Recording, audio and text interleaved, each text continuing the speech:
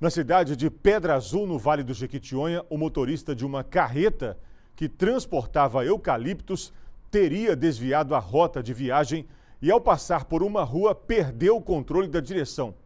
O veículo tombou e matou um pedestre. A carreta ainda atingiu um carro estacionado. Sobre esse assunto, o Roberto Tomás, ao vivo, conversa com a gente. Boa noite, Roberto. Oi, Saulo, boa noite para você, boa noite a todos que acompanham o MG Record.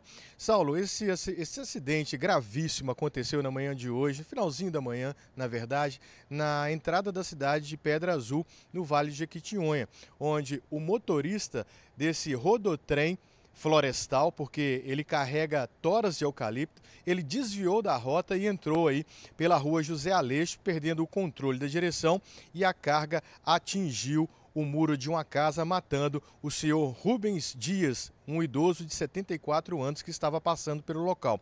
O caminhão ainda atingiu um veículo que estava ali na saída para a cidade de Almenara. Esse veículo ficou totalmente destruído, também o muro da casa e parte da garagem. Você vê que o rodotrem, esse é um caminhão de que carrega é, toras de eucalipto, ele sempre é, usa aquelas estradas ali para levar e todo esse material para a fábrica e também tem muita incidência de acidentes envolvendo esse tipo de veículo naquela região.